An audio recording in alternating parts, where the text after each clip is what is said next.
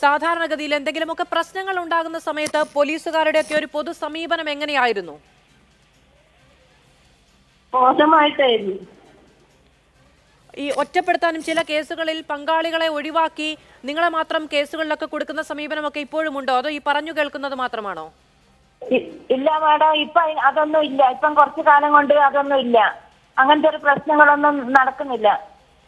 ഒരു കേസോ ഇപ്പം അങ്ങനെ വരത്തില്ല. പോലീസുകാർ ഇടപെടില്ല നമ്മുടെ നാട്ടിൽ കുറച്ചുകൂടി അതായത് കേരളത്തിൽ പ്രത്യേകിച്ചും സർക്കാർ വലിയ തോതിലുള്ള ഇന്റർവെൻഷൻ നടത്തുന്നുണ്ട്. സർക്കാർ ഇടപെടുന്നുണ്ട്. അത് ഐ ഡി കാർഡിന്റെ കാര്യത്തിലാണെങ്കിലും ആധാർ കാർഡിന്റെ കാര്യത്തിലാണെങ്കിലും റേഷൻ കാർഡ് ദാരിദ്ര്യ രേഖയ്ക്ക് താഴെയുള്ള റേഷൻ കാർഡ് ഉറപ്പുവരുത്തുന്നതിനുമൊക്കെ സർക്കാർ ഇടപെടലൊക്കെ നടക്കുന്നുണ്ട്. ഈ പ്രോജക്ട് ഡയറക്ടറായി നിങ്ങളെ ഒക്കെ തന്നെ നിയമിക്കുകയും ഒക്കെ ചെയ്യുന്നുണ്ട്.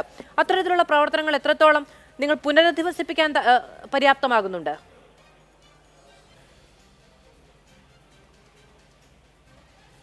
കേൾക്കാമോ ഞാൻ ചോദിക്കുന്നത്? ഓ റേഷൻ കാർഡ് ആധാർ കാർഡ് അത് അതിനൊക്കെ ഇടപെടുന്നുണ്ട്. അതൊന്നും വലിയ പ്രശ്നമായിട്ട് ഒന്നും എടുത്തിട്ടില്ല. ഇപ്പോൾ ഒരു സുപ്രീം കോടതിയുടെ ഭാഗത്തു നിന്ന് പത്ത് നിർദ്ദേശങ്ങളാണ് ഉള്ളത് അതിൽ പ്രധാനമായും നിങ്ങളുടെ സുരക്ഷ ഉറപ്പുവരുത്തുക എന്തെങ്കിലും തരത്തിലുള്ള അതിക്രമം ഉണ്ടായിട്ടുണ്ടെങ്കിൽ കേസ് കൊടുക്കാൻ ചെല്ലുമ്പോൾ നിങ്ങളോടുള്ള സമീപനം മെച്ചപ്പെടുത്തുക സൗഹാർദ്ദപരമായി പെരുമാറുക നിങ്ങളുടെ സുരക്ഷ ഉറപ്പുവരുത്തുക തുടങ്ങിയ കാര്യങ്ങളൊക്കെയാണ്. ഇത് സാധാരണഗതിയിൽ നോക്കുകയാണെങ്കിൽ എല്ലാവർക്കും അനുവദിച്ചു കിട്ടേണ്ട ഒരു കാര്യമാണ്. പക്ഷേ നിങ്ങൾക്ക് മാത്രമായി അത് നിഷേധിക്കപ്പെടുന്നുണ്ടായിരുന്നു എന്ന തോന്നലുണ്ടോ? അല്ലെങ്കിൽ അത്തരത്തിലുള്ള അനുഭവങ്ങൾ പങ്കുവെച്ച് കേട്ടിട്ടുണ്ടോ? നിഷേധിക്കപ്പെട്ടിട്ടുണ്ട്. അപ്പോൾ എന്താണ് അതിന്റെ ഒരു പ്രതിവിധി? നിങ്ങൾ അത് സഹിക്കുകയാണോ അതോ മറ്റുള്ളവരുടെ അടുത്തേക്ക് പരാതിയുമായി ചെല്ലുകയാണോ ചെയ്യുക? പോലീസ് സ്റ്റേഷനിൽ ഒരിക്കലും പരാതിയായിട്ട് ചെന്നിട്ട് അതിൽ ഉന്നതന്മാരാകുമ്പോൾ നമ്മളെപ്പെട്ട പാവ നമ്മളെ പോലെ പാവപ്പെട്ടവരാകുമ്പോൾ ആ ഉന്നതന്മാരത് മാത്രം അംഗീകരിച്ചിട്ട് പാവപ്പെട്ട നമ്മളത് നിഷേധിച്ച് കളിയായിരുന്നു.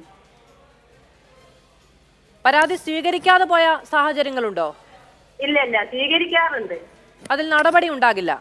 നടപടി ഉണ്ടാവില്ല പക്ഷെ ഞാനൊരു കാര്യം ചോദിക്കട്ടെ? ഇപ്പോൾ സുപ്രീം കോടതി തന്നെ പറയുന്നു സംരക്ഷണം വേണം നടപടി എടുക്കണമെന്നൊക്കെ. നിങ്ങൾക്ക് ഇതിന് പുറകെ പോകാനൊക്കെ സാധിക്കുമോ?